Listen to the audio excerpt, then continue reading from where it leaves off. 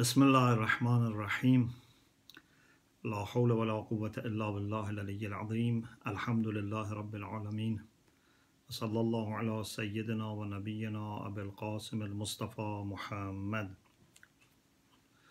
وآله الطيبين الطاهرين لا سيما بقية الله في الأرضين أجل الله تعالى فرجه الشريف. اللهم كل وليك الحجة ابن الحسن صلواتك عليه وعلى آبائه في هذه الساعة وفي كل ساعة. وليا وحافظا وقائدا وناصرا ودليلا وعينا حتى تسكنه أرضك طوعا وتمتعه فيها طويلا. برحمتك يا أرحم الراحمين. Alhamdulillah, we have tawfiq to have this session. For some of us, it is the day of 15th of Sha'ban. For some people, maybe it's the night after. We are very blessed to live in a time that everything reminds us of Imam Mahdi Sharif. As soon as we enter the month of Sha'ban, we have a special affinity to Imam Zaman and then when we approach middle of Sha'ban it gets more and more. I hope throughout the year we would always be mindful of Imam Zaman and would be praying for him and would be reflecting on our responsibilities towards him I would like to share with you few points and then inshallah if we have chance we can have some questions. And then inshallah we would end with recitation of Ziyarat al Yasin which is recommended by Imam Mahdi himself I am not giving to a comprehensive talk on Imam Mahdi. First of all, it's not possible. Plus, uh, we have talked about this in different, um, you know, places and on different occasions. I want to share some of the uh, new things that I am thinking about, or some of the new things that I have come across. One point is a reflection on the role of Imam Mahdi Sharif in the time of ghaibah, in the time of occultation. For us to understand this is not very easy because we know more about all the hujjaj of Allah whether it be before Islam or after Islam, who were in the time of zuhur, in the time of being publicly functioning. We know what, for example, Prophet Nuh did, what Prophet Musa did, what Prophet Isa did, what Prophet Muhammad did what Imam Ali did, all things that we know, all our experiences are 99 percent, point 99 about Zuhur. There have been some very limited periods in which even in the past there were some kind of ghaiba.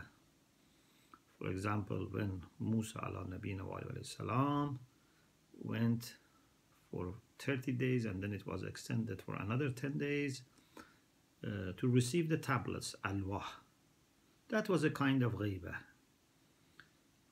but that was very limited and plus he had Harun alayhi salam in his place. So it's very limited.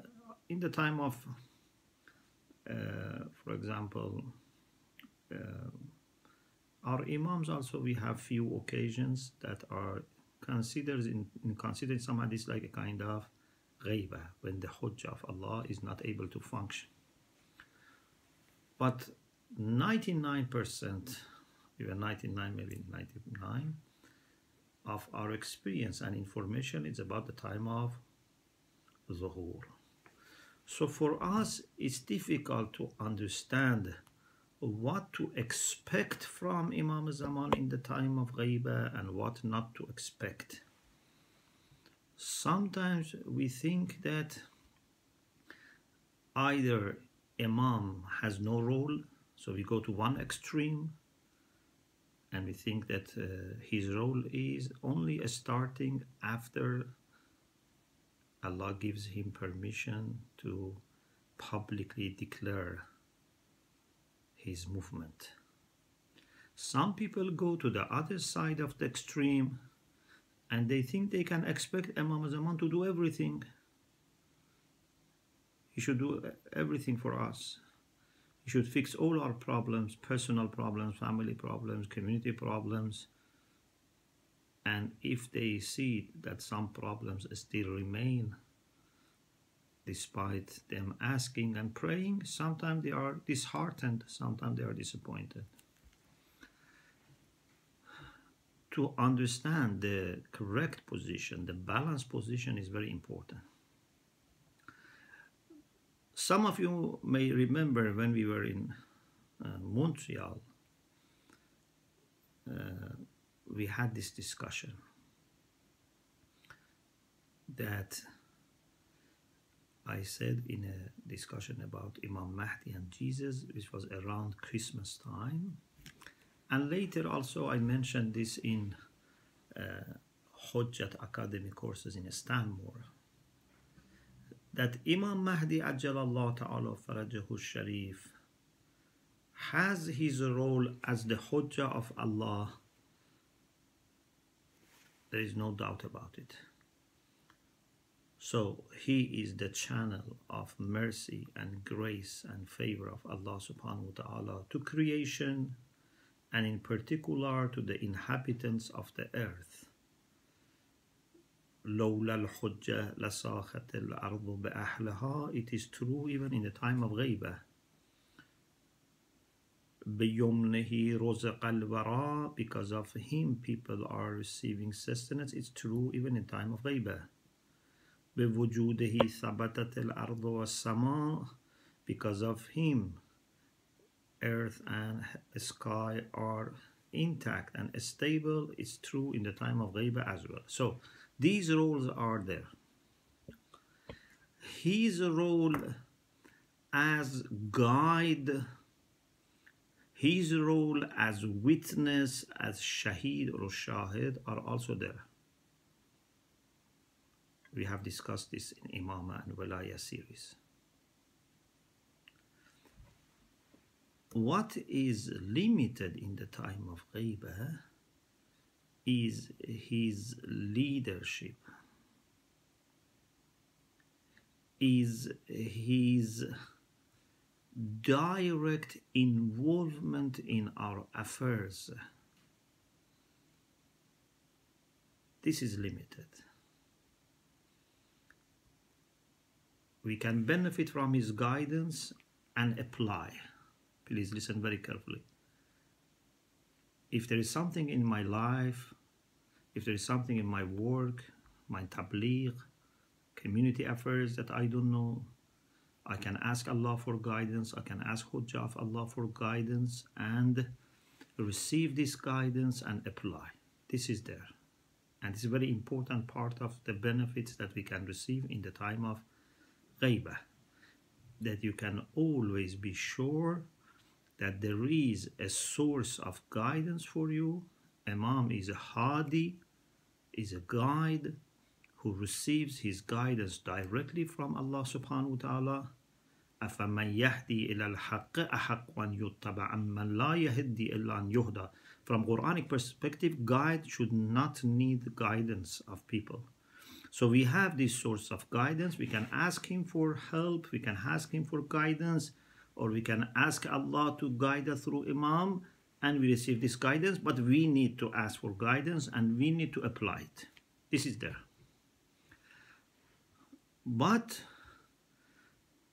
if you want Imam to be more active if you want Imam to play more direct and more obvious role in our life in the time of Ghaibah, this is only possible if it is the time of being desperate, if it is the time of istirar. You know, sometimes there are some exits that you are not supposed to use. Only when there is emergency, there's emergency exit. God forbid if there is a fire, then you can use that fire exit to go out. For Imam Zaman, there is emergency entrance to this world, to this public life that we have. He is there, he's living with us. But for him to come in the middle of our problems, to rescue us, to help us in the time of ghaibah, in my humble opinion, opinion, it's only possible through emergency entrance. And that is when either the situation becomes so obviously miserable and difficult that everyone says that we are not able to do anything. Even honest people, hardworking people, they say we cannot do anything. Or the situation maybe is not that desperate but mu'mineen who are full of trust in Allah subhanahu wa ta'ala and full of love for Imam and full of humility, they think they cannot do anything unless Imam helps them. So maybe you can reach the point of feeling desperate much earlier than another person and therefore you get help. This, of course, has to be real. Any person who feels mustar honestly, not just formally, not just verbally, not just because you are lazy, any hard working, any determined person who out of his awareness or her awareness of the size and the extent of the problems in the world reaches the edge of desperation and says that I am not able to deal with this, Imam would come and help him. And if leaders of communities are in this situation, Imam then would lead the community. So, this is another way that we can benefit from Imam Mahdi Ajalallah Ta'ala Farajahu Sharif in addition to the first two types of benefits. His role as a means, as a channel of mercy of Allah. Second, his role for providing guidance, but you have to apply the guidance.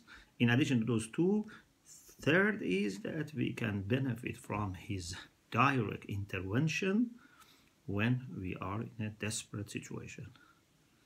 You have heard many stories of people that were stuck in a desert, for example. They had, I don't know, disease. They really reached the point of being desperate and they received help from Imam Mahdi directly or through his helpers or his aides. This is very common in the history of Ghaibah. We have many reliable stories. This is because of that general principle of istirar. But I want to learn that we can bring that to more wider uh, scenarios of our community life if we are deeply connected to Imam and we are humble at the same time hardworking, organized, very serious, but we understand that we need our Imam to be with us. You know, sometimes people who learn a little knowledge, they become arrogant and they think they are themselves an alim they can replace their teachers. But sometimes people who have studied with an alim for 20 years, 30 years, 40 years, they have their own students, they have their own publications. They are more appreciative of their teachers. In history of the Hawza, for example, we have mujtahideen who attend lectures of their teachers for tens of years. And more than a new talabah, they appreciate being in touch with their teacher and on a daily basis benefiting. And if he has, you know, uh, other meetings, other discussions throughout the day, private or not private, they would attend because the one who really knows benefit and value of knowledge is more thirsty. Those who are successful in tabligh, for example, and have good understanding of the situation in the world, and have good skills, good talents, they are hardworking and determined, they are supposed to be more understanding their need for someone like Imam Mahdi Ajalallah Ta'ala Sharif. An unexperienced person thinks that he can manage everything. But someone who is wise and pious and humble and hardworking understands the, that this responsibility is too heavy and we need Imam Mahdi to help us. So, if you understand your need and your situation in your honest evaluation has reached the level of istirar, then you can invite Imam Mahdi to your life. If you are responsible for a family, you can invite him to the family. It's very important that any person can invite Imam as much as he has authority. Every person can bring Imam to his own personal life. People who are responsible for a family, they can bring Imam to the family. Those who are responsible to community, they can invite imam to community. This is why leaders have great roles. If leaders are on the right track, many people can benefit from them. If they are trusting Allah subhanahu wa ta'ala, it's like community trusting Allah subhanahu wa ta'ala. If they make dua, it's like whole community making dua. Of course, if the community helps them, it's much better but even if community is not very much you know alert they believe in the leader but leader is very alert. It can he can bring good to all members of community. Okay. This was one point that i wanted to mention about how we can involve Imam Mahdi Ajalallah Ta'ala Farajahu Sharif in our family community, personal life, and how much to expect from him, how much his hands are open. Another thing which I want to mention tonight is that maybe it's not an exaggeration.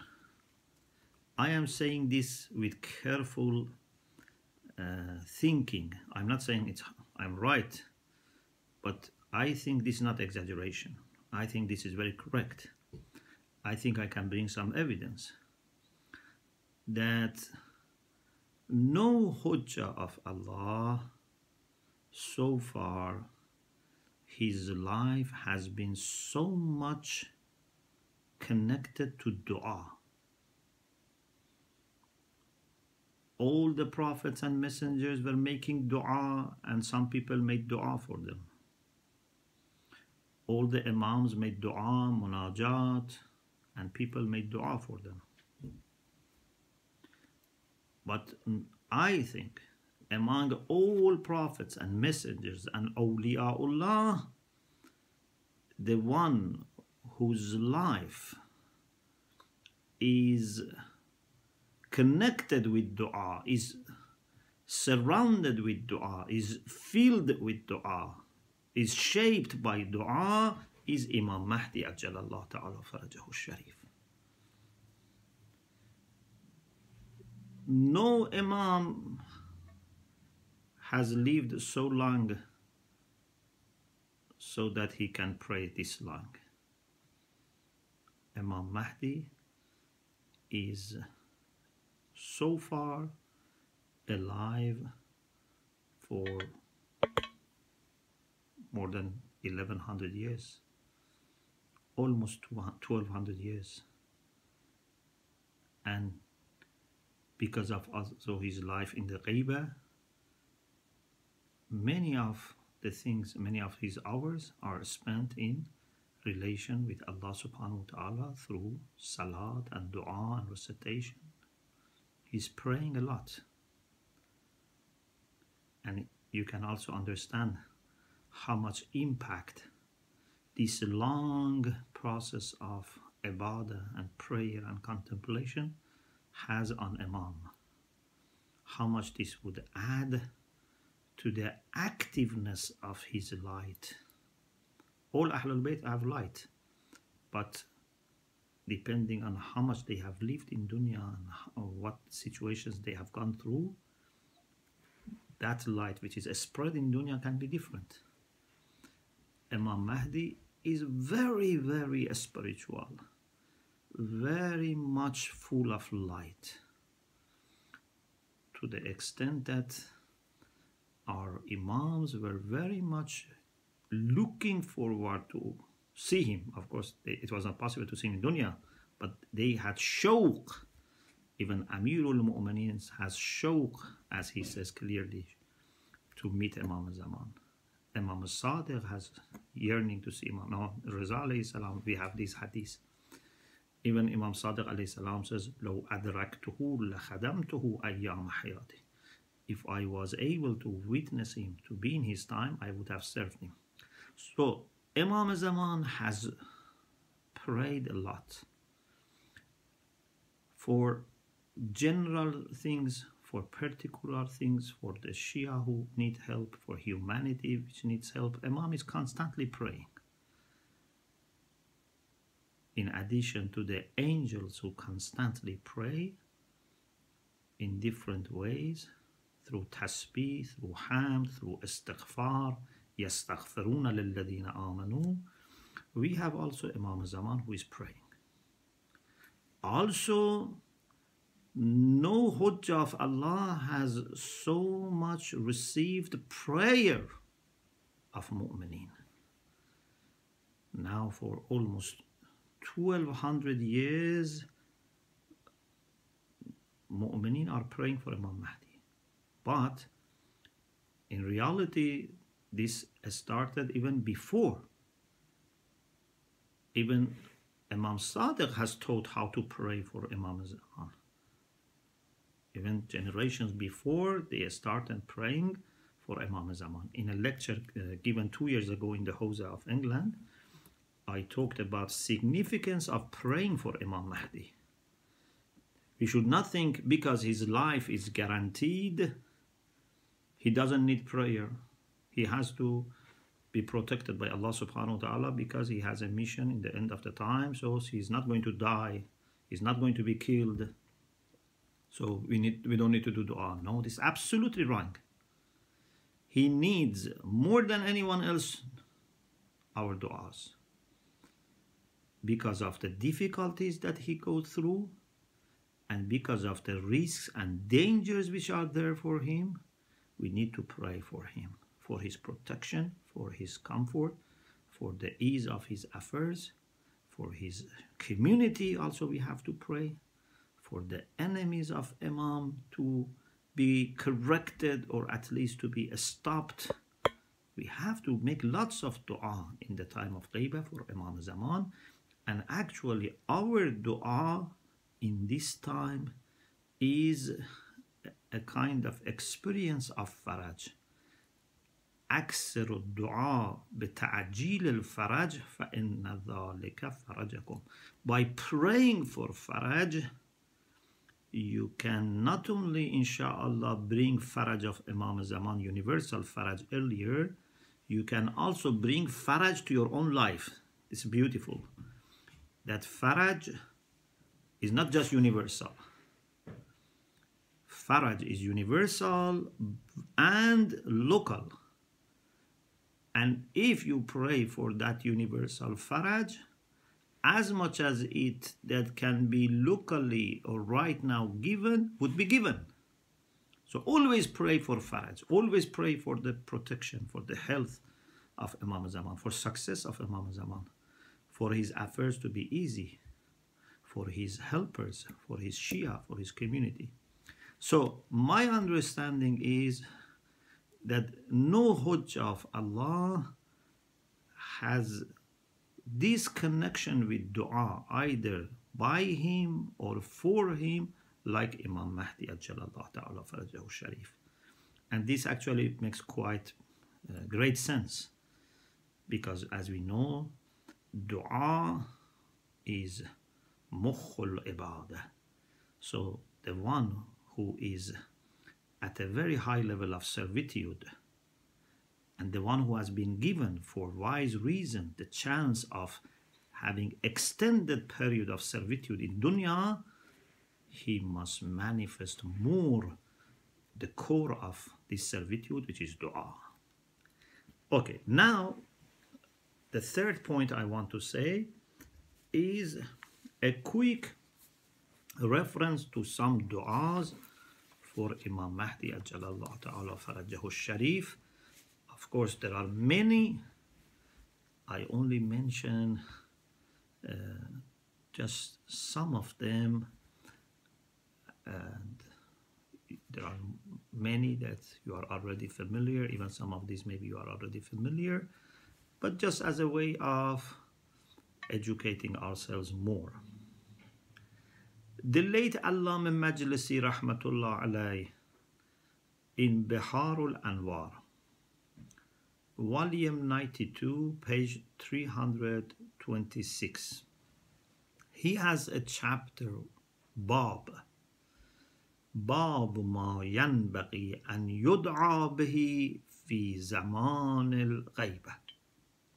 This chapter is about those things which are good to be prayed in the time of غيبة. Means du'as which are recommended for the time of غيبة.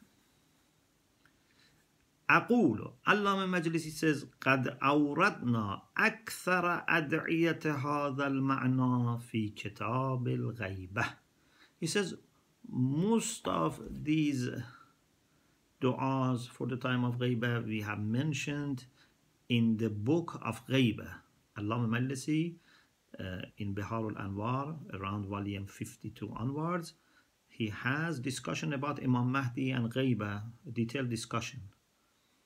So over there also he has mentioned these du'as, but for another purpose, he makes also those du'as here. The first du'a is what Shaykh Saduq rahmatullah alayh has mentioned in Ikmaluddin. Ikmaluddin is the book by Shaykh Saduq which is actually about Imam Mahdi and Ghaibah.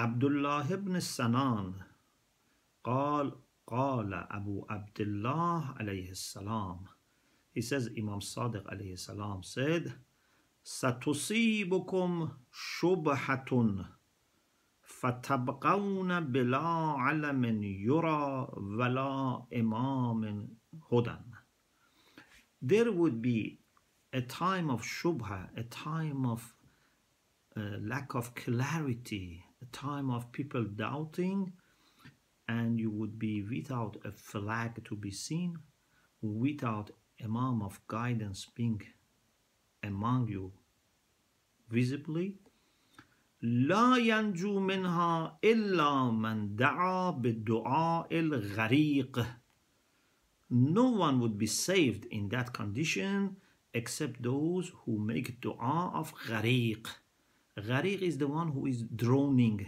in the sea. You know, when you are drowning in the sea, you are very desperate. Nothing to hold, not, no one to help you. And in few minutes, you may die. How desperate you are. So, the person who is Abdullah ibn Sinan says, I told Imam Sadiq alayhi salam, وَكَيْفَ دُعَاءُ الْغَرِيقِ how is dua of Gharik? Imam Sadiq alayhi salam said, you say this, taqulu. Now this is a dua that we make many times, of course, with some additions. You say, Ya Allahu, Ya Rahmanu, Ya Rahim, Ya Muqallib al-Qulub, Thabbit qalbi ala dinik. Because also you are uh, to consider that is for Gharik, so it has to be short. Ya Allah, Ya Rahmanu, Ya Rahim, Ya Muqallib al-Qulub, O transformers of the hearts, Thabbit qalbi ala. This is one of the important du'as in the time of ghaibah that we ask Allah to make our heart firm with our faith We don't want to deviate. We don't want to go astray. We don't want to start doubting. ثبت قلبي على دينك. Strengthen, make firm uh, my heart over your religions. Means make it firm uh, with iman. Narrator says, I told Imam, what if we say like this, Ya muqallib al-qulub wal-absar thabbit qalbi ala dinik. O the transformer of the hearts and the eyes, please keep our hearts firm on your religion. Then Imam alayhi salam gave him a lesson which is good for here, but also for other cases that these du'as are ma'thur, are transmitted to us, and we should try to recite them literally as we receive them. Don't bring your innovations to these du'as. You can make du'a as you like, but if a du'a is specifically recommended, don't add anything to it. فقال إن الله عز وجل Muqallibul qulub wal absar. Yes, it is true that Allah is the transformer of the hearts and the eyes. Some of the du'as actually we say, Ya muqallib al qulub wal absar. Ya mudabbir al layl wal nar. We have for Nowruz. So it's okay. But, walakin qul kama aqul. But say as I say. Ya muqallib al qulub ثبت قلبي على دينك. Don't add anything to this. Okay. This is the first dua here. The second dua, again, Allama Majlisi quotes from Ikmaluddin by Shaykh al-Saduq. And the narrator is Zurara. And Zurara and Abi Abdullah alayhi salam في حديث ذكر فيه غيبة القائم عليه السلام. So Zurara quotes a hadith from Imam Sadiq in which the issue of ghaiba and occultation of Imam Mahdi is addressed, is mentioned. قال زرارة فقلت جعلت فداك He says, I told Imam Sadiq, may I be your ransom فَإِنْ أَدْرَكْتُ ذَلِكَ الزَّمَانِ Look, Imam Mahdi has not yet been born. It's the time of Imam Sadiq. But they had so much of understanding that they were conscious about Imam Mahdi and for their own sake and also for the sake of people who come later, they ask very practical questions.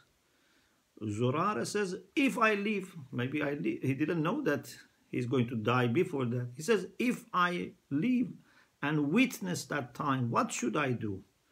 In أدركت ذلك الزمان فأي شيء أعمل What should I do if I am able to live in the time of غيبة? قال يا زرارة Imam Sadiq alayhi salam said, O Zurara, إن أدركت ذلك الزمان فَلْزَمْ هَذَا الدُّعَى If you witness that time, فَلْزَمْ هَذَا الدُّعَى means try to make this dua continuously. Means not once or twice, mulazama means you have to be uh, continuously, quite often, making this dua. اللهم عرفني نفسك فإنك إن لم تعرفني نفسك لم أعرف نبيك the dua that you are all familiar oh Allah make yourself known to me if you don't make yourself known to me lam a'rif nabiyak I cannot know also your prophet it is with your help, with your guidance, with your miracles and signs that I believe in your prophet. اللهم عرفني رسولك فإنك إن لم تعرفني رسولك لم أعرف حجتك. Oh Allah, please make your messenger known to me because if you don't show your messenger to me, I would not then know your Hujjah, Imam Mahdi, because it is through the Prophet that we came to know about Imam Ali and other Imams and now Imam Mahdi. Who introduced them to us? The decision was made by Allah, but the one who declared it, Ya ayyuha Rasul, ma unzila, the one who delivered the message of Allah, who announced the choice of Allah, was Rasulullah so we ask Allah to show Rasulullah also to us so that we can know the Hujjah. So first, we ask Allah to show Himself to us so that we can know the Prophet. We ask Allah to give us ma'rifah of the Prophet so that we can know the Hujjah. Allahumma arrafni hujjatak. Oh Allah, please make your Hujjah known to me. فإنك إن لم تعرفني حجتك ظللت عن ديني if you don't make your hujjah known to me, I will be misguided in my faith because Sunni Shia have narrated this hadith mutawatir that man mata wa lam ya'rif imam zamaneh mata mitatal jahiliyyah. So we ask Allah to know, help us know Him better. We ask Allah to help us know Rasulullah better we ask Allah to help us know Imam al-Zaman better. This is also one of the du'as that we frequently should make in the time of ghaibah. I mention only these two. There are many more du'as here. And we pray to Allah subhanahu wa ta'ala to bless Imam Mahdi Ajalallah ta'ala farajahu sharif with all kinds of support that he has Throughout the history, he has supported his prophets and messengers and awliya in different ways with the angels, with the Holy Spirit, with his inspirations, with good helpers. We ask Allah to give all the helps and all types of assistance that he has to Imam Mahdi Ajalallah Ta'ala Farajahu Sharif.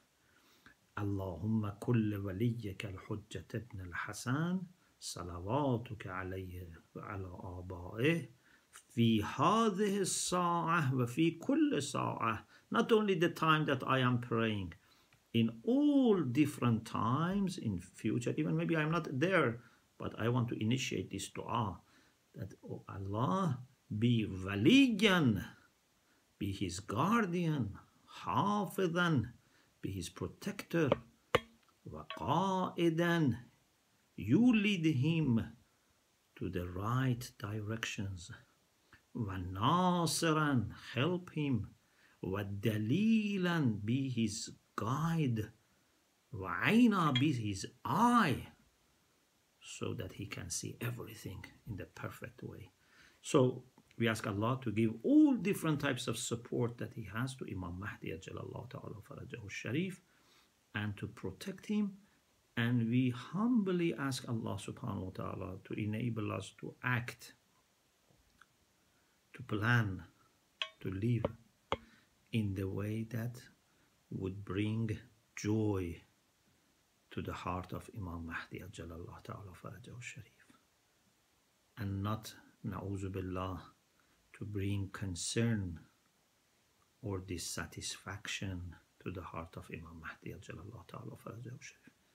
May Allah inshallah protect all the lovers of Imam, all the helpers of Imam, all the institutions that sincerely work for Imam, give them more tawfiq, more support, more guidance, better resources, so that inshallah they can live by the standards that Imam alayhi salam expects.